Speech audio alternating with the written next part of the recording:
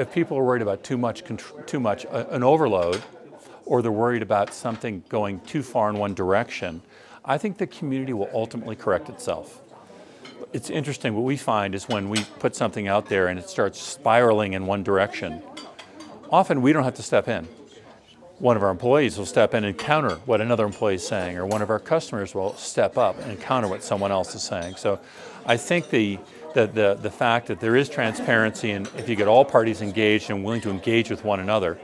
that helps put, I don't know if it's putting the genie back in the bottle, but at least tries to keep it on a, a productive or constructive direction.